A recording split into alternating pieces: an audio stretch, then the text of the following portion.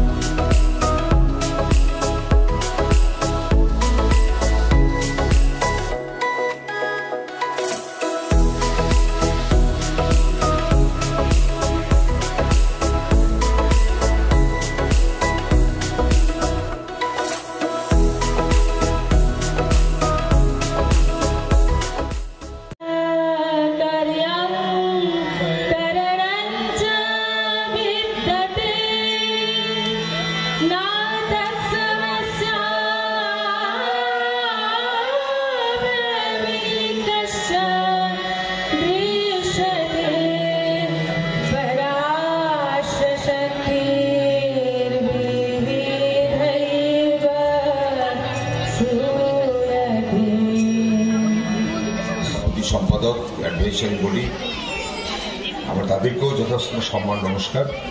অনেকেই chief guest এসছেন। বিশিষ্ট জনেরা এসছেন, তাদের কথা আপনারা শুনবেন। যারা আপনাদের ছাত্রছাত্রী এবং এই স্কুল সংক্রান্ত বিষয় নিয়ে নিশ্চিতভাবে তাদের সুচিন্তিত মতামত প্রকাশ করবেন। আমি আপাতত মধ্যাহ্নভোজের আগে পর্যন্ত যে অনুষ্ঠান শিডিউলে রয়েছে, সেই পর্যন্ত থাকতে পারলে পরে ভালো লাগতো। তো কিন্তু আমার একটি ফোন আসে যে আমাদের একটি প্রোগ্রামের মধ্যে আমাকে ঢোকানো হয়েছে, যার ফলে আমাকে বেরিয়ে যেতে হচ্ছে একটু সাডেনলি তো আমি এই স্কুলের একদম শুরু থেকে দেখেছি। যার নাম না বললে পারছি না, আমাদের শশাঙ্ক দাস এবং আশু দাস তাদের এই জায়গা যদি না দিতেন, তাহলে এই প্রতিষ্ঠান আজকে এত বড় হওয়া খুব কঠিন ছিল। বেলদা একটি গুরুত্বপূর্ণ জায়গা। আমরা যদি সার্বিকভাবে লক্ষ্য করে দেখি যে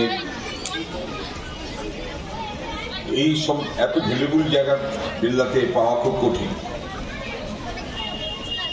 তো আগের যে শুরু, যে একটি ছোট পুরনো বাড়িতে গেছিলাম একটু আগে, আমাদের যেটা ডান দিকে একটি পুরনো বাড়ি, ওটাই প্রথম প্রতিষ্ঠা দিন। তো আজকে অনেকটা সুবৃদ্ধি হয়েছে। স্বাভাবিকভাবে এই প্রতিষ্ঠান যত বেশি সুবৃদ্ধি ঘটবে বা ভালো মন্দের সঙ্গে আমি প্রথম থেকেই আছি, আগামী দিনেও থাকব। আপনাদের সবাইকে শুভেচ্ছা, পুনরায় জানিয়ে আমার দু এক কথা বলে আমি শেষ করলাম। অসত মা तमसो मा ज्योतिर्गमय मृत्युर्माम् अमृतं गमय आविर्मविर्मये नमः विवेकानंद सूर सच्चेत्सुखस्वरूपाय स्वामी तापहाय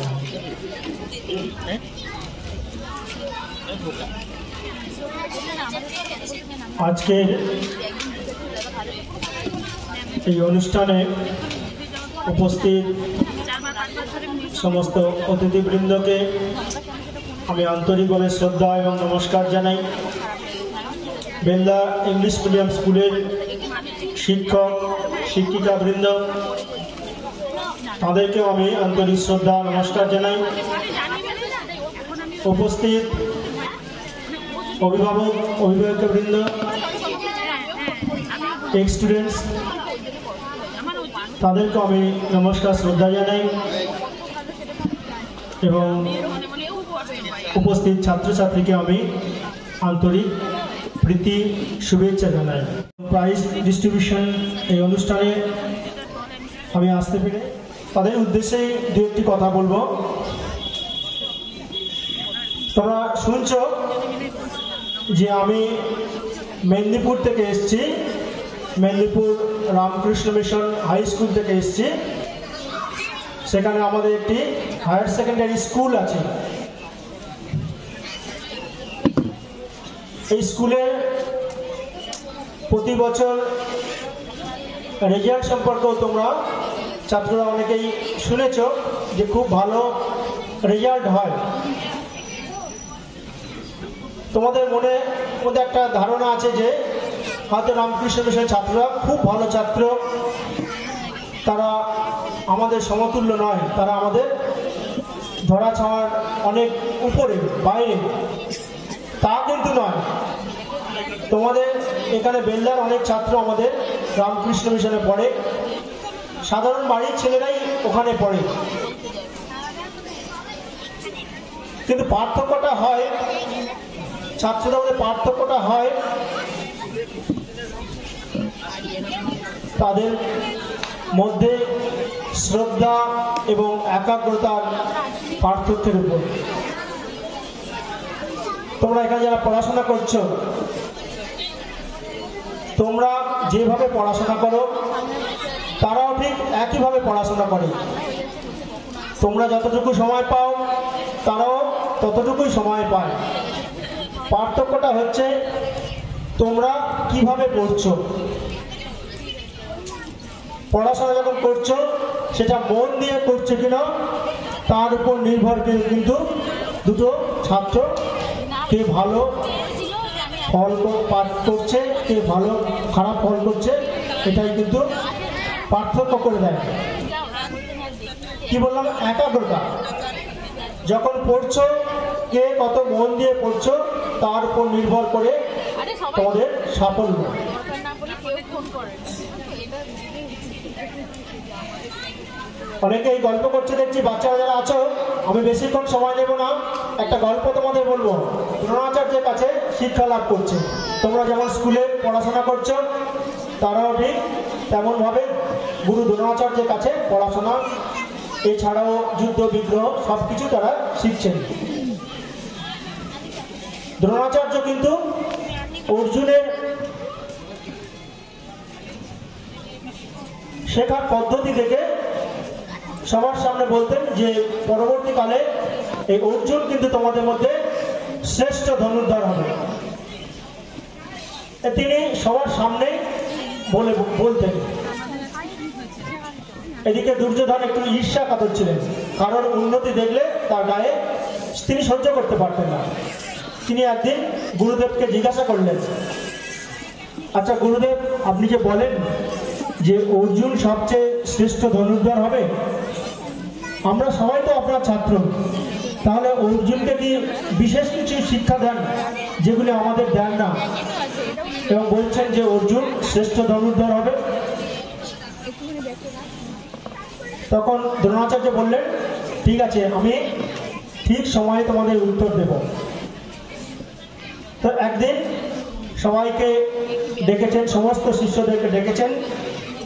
ডেকে একে একে তিনি প্রথমে যুধিষ্ঠিরকে ডাকলেন। সামনে একটা বড় গাছ বটবৃক্ষ সেখান থেকে একটি পাখি দড়ি দিয়ে ঝুলে দিয়েছেন। যুধিষ্ঠিরকে বললেন, এই পাখিটাকে তোমার তীর ধনুক দিয়ে মারতে হবে। যুধিষ্ঠির তীর ধনুক নিয়ে রেডি হয়েছেন, মারবে বলে। তখন দ্রোণাচার্য যুধিষ্ঠিরকে জিজ্ঞাসা করছেন, যুধিষ্ঠির, তুমি এখন কি দেখছ? যুধিষ্ঠির বললেন, গুরুদেব, আমি দেখছি বিশাল বটবৃক্ষ, সেখান থেকে একটা সুতো দিয়ে পাখি ঝোলানো আছে দেখতে পাচ্ছি। দ্রোণাচার্য বললেন, ঠিক আছে, তুমি থেমে যাও। তারপর দুর্যোধনকে ডাকলেন, বললেন, এই ধনুক দিয়ে তোমাকে এই পাখিটাকে মারতে হবে। তো দুর্যোধন যখন রেডি হয়েছে মারার জন্য, তখন গুরুদেব আবার জিজ্ঞাসা করছেন যে, দুর্যোধন, তুমি কি দেখছ? দুর্যোধন বললেন, গুরুদেব, আমিও দেখছি, বিশাল বটবৃক্ষ বড় গাছ, সেখান থেকে সেখান থেকে সুতো দিয়ে একটি পাখি ঝোলানো আছে, গাছের ডালপালা, গাছে ফল হয়ে আছে, সেগুলো আমি দেখতে পাচ্ছি। তুমি থেমে যাও, মারতে হবে না। একে একে সবাইকে ডাকলেন। সবাই কম বেশি একই রকম উত্তর দিলেন যে বড় গাছ, গাছের একটি ডাল থেকে পাখি ঝোলানো আছে। শেষে অর্জুনকে ডাকলেন। অর্জুনকে ডেকে বললেন যে, তুমি এবার ওই পাখিটাকে মারার জন্য প্রস্তুত হও। অর্জুন যখন পাখিটাকে মারার জন্য প্রস্তুত হয়েছে তখন দ্রোণাচার্য জিজ্ঞাসা করছেন, অর্জুন, তুমি এখন কি দেখছ? অর্জুন বললেন, গুরুদেব, আমি কেবল একটি পাখি দেখতে পাচ্ছি। বললেন আর কি দেখতে পাচ্ছ? বলছেন পাখি ছাড়া আর অন্য কিছু দেখতে পাচ্ছি না। তখন বললেন, যে ওই পাখির চোখে তোমাকে তীর বিদ্ধ করতে হবে। তুমি প্রস্তুত হও। কিছুক্ষণ পরে যখন অর্জুন রেডি হয়েছে, তখন দ্রোণাচার্য আবার জিজ্ঞাসা করছেন, অর্জুন, তুমি এখন কি দেখছ? অর্জুন বললেন, গুরুদেব, আমি একটি চোখ দেখতে পাচ্ছি। বলছেন, আর কি দেখতে পাচ্ছ? গুরুদেব বল, অর্জুন বলছেন, একটি চোখ ছাড়া আর কিছুই দেখতে পাচ্ছি না। তখন গুরুদেব বললেন, ঠিক আছে, তুমি ওই চোখে তীর দিয়ে আঘাত করো। এবং অর্জুন তীর দিয়ে ওই পাখিটার চোখে আঘাত করল এবং সফল হয়েছে। তখন দ্রোণাচার্য সবাইকে বললেন দেখো, কেন আমি বলি যে অর্জুন শ্রেষ্ঠ ধনুর্ধর হবে? অর্জুনকে আমি বলেছিলাম পাখিতে লক্ষ্যভেদ করতে। পাখিতে তার লক্ষ্য স্থির রাখতে। অর্জুন সেই পাখিতে স্থির রেখেছে।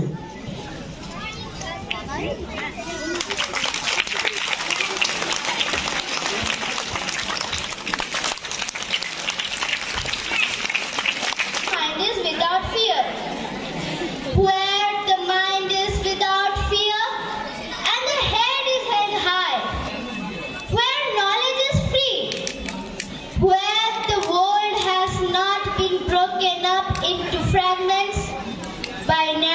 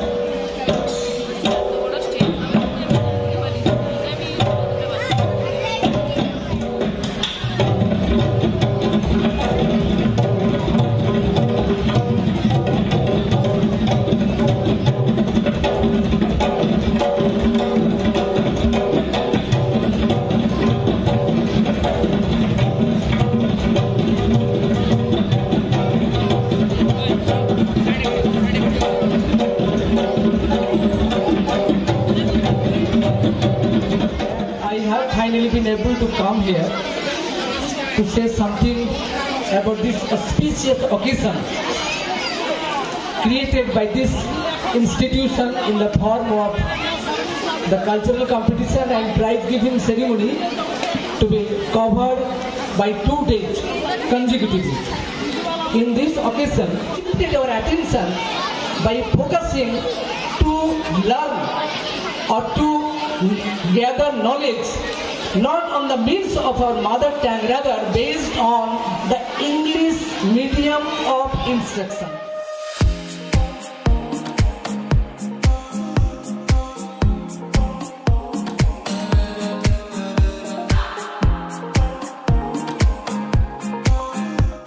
মোটামুটি অনুষ্ঠান এখন চলছে, আর আমি এখন চলে এসেছি আমাদের বোনেদের স্কুলের যেরকম আমরা যেরকম আমাদের স্কুলে ছোটোবেলায় অনুষ্ঠান হলে নিজের হাতে কিছু করে তৈরি করতাম, সেই রকম এখানে অনেক কিছু তৈরি করে রাখা হয়েছে।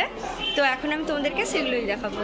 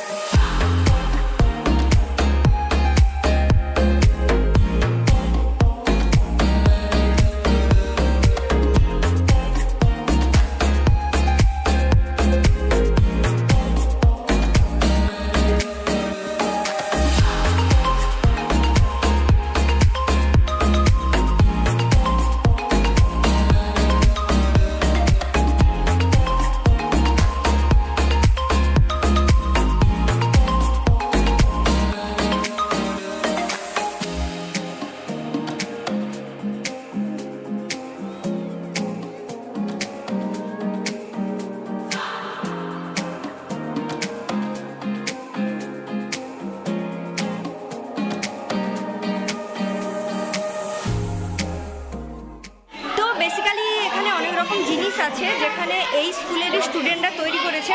তো কয়েকটা জিনিস দেখে আমার আমার স্কুলের কথা মনে পড়ে যাচ্ছে, কারণ আমিও এইসব জিনিস তৈরি করেছি যখন আমাদের স্কুলে অ্যানুয়াল ফাংশন হয়েছে। তো চলো, এখন আমি তোমাদেরকে সেই জিনিসটা দেখাচ্ছি।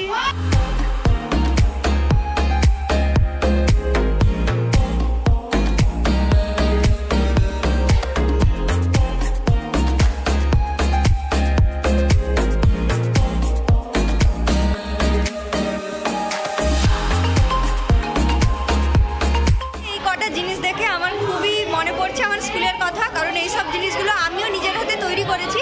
তো আর কি কি আছে চলো দেখে নেওয়া যাক।